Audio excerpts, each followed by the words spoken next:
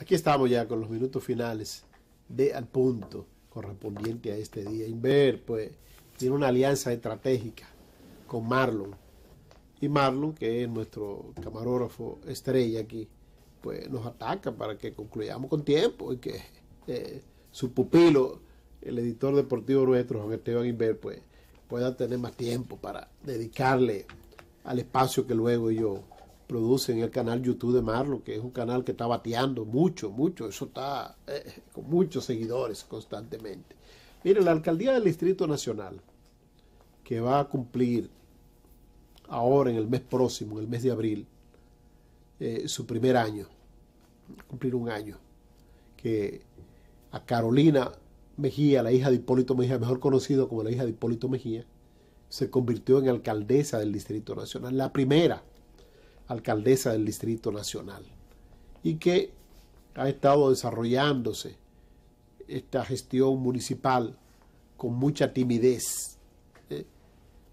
Algunos se la achacan a la, a la pandemia, otros pues dicen que no, que en los primeros 100 días que hay que planificar, que hay que esto, pero el tiempo, el tiempo pasa y nos vamos poniendo viejos, dice el estribillo de una canción. Y ese pasar del tiempo para los políticos es crucial. ¿Por qué? Porque la gente va fijando en su mente el accionar básicamente de las alcaldías. Ya etiquetaron a mi gran amigo Manuel Jiménez allá en Santo Domingo Este como el alcalde que no resuelve nada, como el alcalde que vive siempre eh, hablando de una ciudad posible, pero esa ciudad posible eh, se hace imposible cada día más. ¿eh? Aquí a Carolina la etiquetaron como la mujer de los SPAT, la mujer de los gimnasios, ¿eh? que se está preparando, mucho maquillaje, mucho masaje constantemente, la que compró unos tenis especiales, los cuales se lo puso una vez, valorado en más de 18 mil pesos, para ir a un barrio eh, populoso de la capital dominicana y me dice un amigo eh, que ella se desamarró esos tenis con tres guantes puestos, así, y así mismo lo, colocaron en una funda.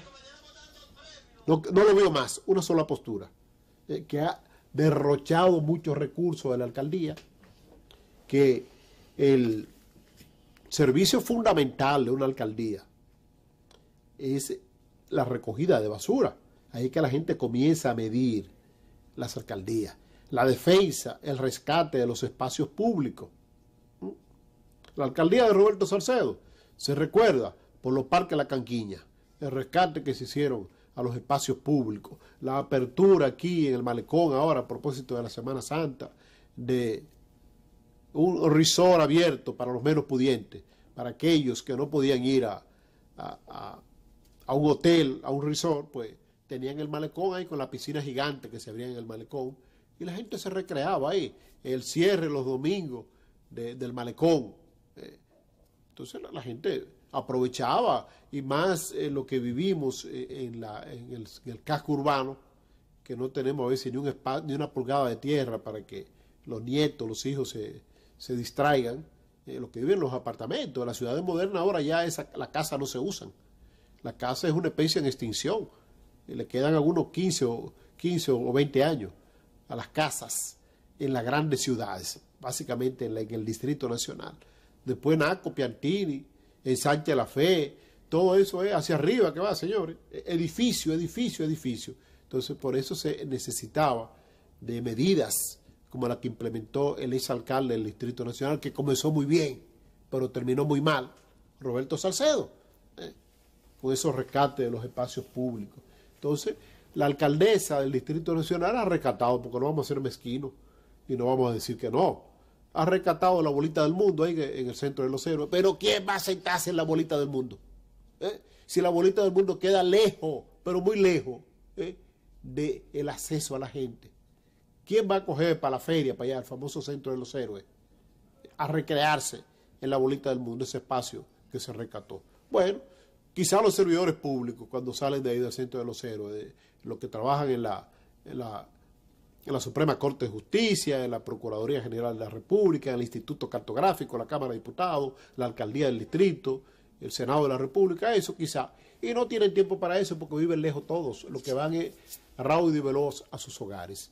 Finalmente, pues queremos decirle a la alcaldesa del Distrito Nacional, la bella y hermosa Carolina Mejía, eh, que se distancie un poco más de los SPAT, de los gimnasios, y que atienda su cartón, ¿eh?